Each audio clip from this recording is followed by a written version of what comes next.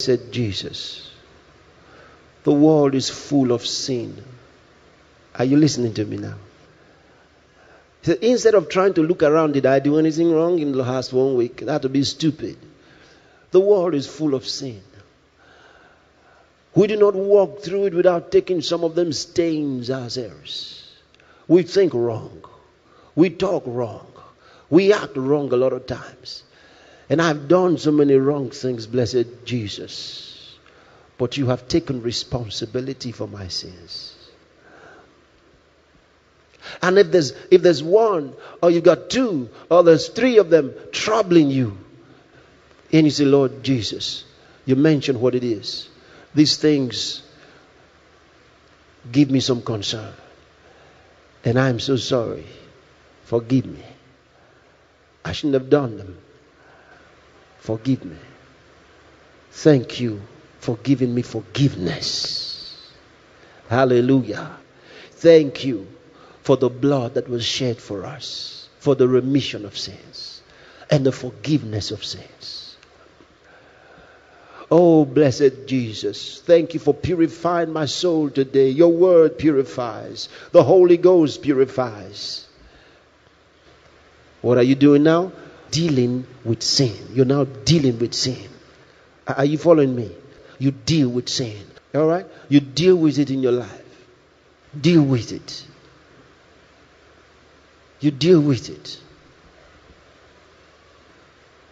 Because the world is full of unrighteousness. The very air around us. Full of no, uh, uh, uh, negative thoughts, wrong thoughts, fear, doubt. And from time to time, we pick some of them up ourselves. Sometimes we react in anger unnecessarily.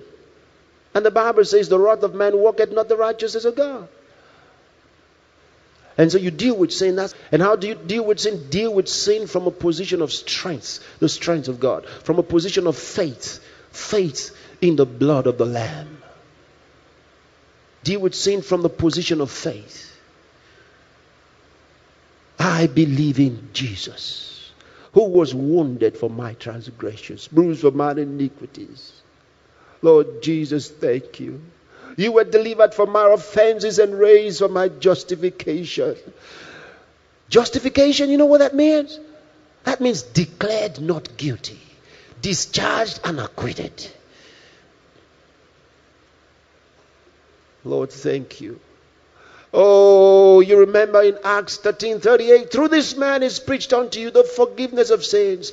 By him, all that believe are justified from all things from which they could not be justified by the law of Moses. By the law of Moses, I should be stoned to death. By the law of Moses, I should be ostracized. By the law of Moses, I should be condemned. But thank you, Lord Jesus. Through Jesus is preached unto me the remission of sins, the forgiveness of sins. By him all that believe are justified from all sakes. Oh, thank you, Lord. Being therefore justified by faith, we have peace with God through our Lord Jesus Christ. By the time you get to this dealing with sin number, are you following me? Dealing with sin, ooh, what happens is you, the weakness of man is revealed. Come on, come on, come on. Are you with me now? You see, the weakness of man is, is revealed. See your weakness? Immediately you have actually accepted that in your strength, says, By strength shall no man prevail. Suddenly you realize it is by faith, not by works. You see that? Not by the works of righteousness which we have done, not by our own perfection, not because I was so good, but, dear Lord Jesus, my eyes are upon you. Thank you for washing my sins away. Thank you for cleansing me. Thank you for purifying my heart. Thank you for saving my soul. And when you say that, the presence of God, the strength of God takes over.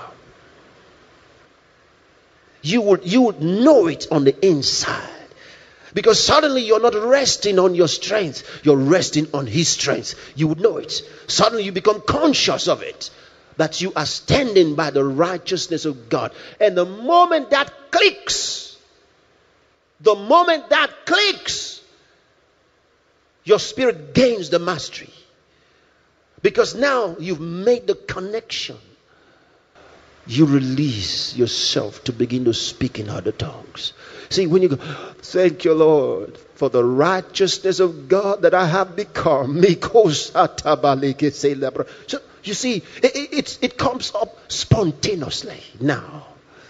The Spirit is released. You feel that you, you, you can literally sense the Spirit gaining the ascendancy.